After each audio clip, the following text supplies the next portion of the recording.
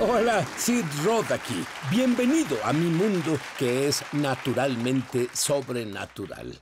La esposa de mi invitado tuvo un sueño profético y ella dio a su esposo un aviso urgente de Dios. Y el aviso era este. Si no oras correctamente, personas morirán. Él tuvo una revelación de cómo es orar correctamente. ¿Alguien interesado en saberlo? Yo sí. Ah, ah, Robert Henderson, no, sé tú, pero si mi esposa viene con un sueño como ese, pondría el temor de Dios en mí. ¿Cómo reaccionaste? Bueno, sí, es exacto lo que hizo. Vamos, eh, cuando ella me dijo lo que el Señor le dijo, dile a Robert que si no ora por ellos correctamente, ellos morirán. Eh, eh, en realidad, puso el temor de Dios en mí, pero fue frustrante para mí, porque yo pensé, bueno, ¿qué hago con esto? Eh, vamos, hago lo mejor que puedo. Yo, yo oro por estas personas, vemos personas sanar, pero veíamos a otras que no sanaban y supe que Dios me lo señalaba. Así que en realidad buscabas a Dios y Él te dio una revelación de Dios en tres ah, dimensiones de oración. Sí. Explica eso. Sí, eh, en el libro de Lucas, Jesús siempre que sus discípulos le preguntan en Lucas 11 que les enseñara, les enseña a orar. En realidad, en el libro de Lucas, Lucas 11, él dio dos dimensiones y luego en Lucas 18 agregó la tercera dimensión. Primero dijo que cuando se acerquen a Dios, acérquense como a su Padre. Él dijo que, que deben decir, Padre nuestro que estás en el cielo. Y luego dijo en Lucas 11, versos 5 al 8, y en quien ustedes tienen un amigo. Así que la segunda esfera es acercarse a Dios como amigo, pero luego está esta tercera esfera en Lucas 18, donde él dice que había un juez, un juez injusto, con el que la viuda fue, y la Biblia no dice que, que, Dios es un juez injusto al que debamos convencer. Todo el asunto es que si esta viuda pudo tener un veredicto de un juez injusto, ¿cuánto más podemos obtener un veredicto de Dios, nuestro juez justo? Esa es la tercera mm. dimensión de oración. Entrar en las cortes del cielo, donde comenzamos a lidiar con cada asunto legal que nos detiene para obtener el beneficio total por lo que Jesús pagó. Tú, tú explicas que eh, uno de los más grandes obstáculos es que el diablo tiene derechos legales en nuestra contra. Explica eso. Eh, sí, eso es, es una de las grandes cosas. Es que el enemigo usa cosas legales en nuestra vida personal, pero también en nuestro linaje. Él usa cosas que se vuelven cosas legales que son usadas para resistir el propósito de Dios en tu vida. Pedro lo señala en 1 de Pedro 5:8 cuando dijo sean sobrios y vigilantes, pues su adversario es la palabra griega antidicos y significa que él trae una demanda. Así que el, el enemigo ocupa una posición legal armando un caso para que pueda hacer una demanda y la Biblia dice que pueda devorar. Verás, él solo puede devorar cuando encuentra derecho legal. Y en la esfera de la sanidad, cuando el enemigo nos devora con males y enfermedades, es porque seguido ha descubierto algo legal que le da derecho a hacer eso.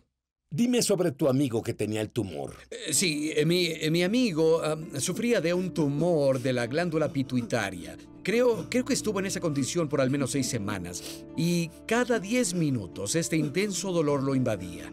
Los doctores no podían aliviar el dolor, lo tenían con medicinas, todo tipo de cosas. Oramos un par de veces, pero nada cambió. Y de pronto él me llamó y dijo, él dijo, ¿orarías por mí de nuevo?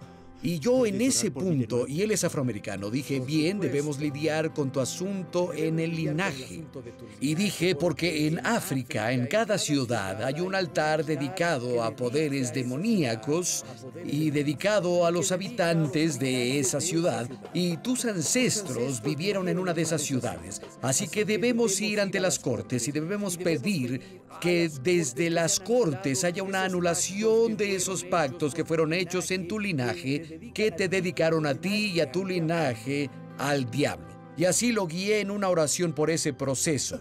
Él se levantó esa noche ah, y fue, fue al área del sofá en la sala y oró una vez más. Él dijo, Señor, por favor, sáname. Se despertó la mañana siguiente sin dolor, completamente sano. El problema desapareció porque lidiamos con el derecho legal que el enemigo usó para afligirlo con esa enfermedad. Ahora, Robert, Tú hablas sobre ir a las cortes del cielo por sanidad. Explica a qué te refieres con eso. Esa, esa es una buena pregunta, porque algunas personas tienen una visión mística. yo, yo, yo no soy místico, aunque creo en una dimensión muy espiritual. Pero cuando entro en las cortes es una esfera de fe. Verás, veo en la palabra de Dios que hay una corte real en el cielo. Y así yo, por fe, comienzo a moverme y posicionarme ahí.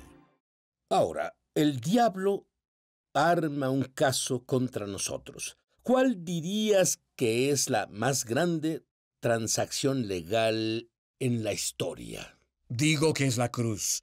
La cruz es la más grande transacción legal. Y debido a que Jesús dijo en Juan 19:30, consumado es, él dijo que todo mandato legal fue cubierto. Entonces, ¿por qué tenemos que deshacernos de esas cosas que son usadas contra nosotros? Porque un veredicto, lo que la cruz es. La, cruz permitió que el veredicto eh, llegara a la tierra. Es el más grande veredicto, veredicto legal, es la más grande transacción legal. El veredicto debe ser ejecutado porque un veredicto no ejecutado no tiene poder. No tiene poder para hacer efecto. Así que en las cortes del cielo lo que realmente hacemos es ejecutar las obras terminadas de la cruz. Así tenemos los beneficios completos de todo por lo que Jesús murió. Ora, llévanos al cielo y con una oración rápida por todos. Sí, Padre, al venir ante ti de nuevo a las cortes del cielo, gracias porque están abiertas y accesibles. Señor, te agradezco ahora. Venimos ante ti en cuanto a la falta de perdón u otro asunto legal. Pedimos que la sangre de Dios hable por nosotros. Solo pídele ahora, solo di, Señor, deja que tu sangre hable por mí. Deja que tu sangre hable de acuerdo a tu palabra, que todo derecho en mi contra, cada asunto legal en mi contra sea removido y revocado.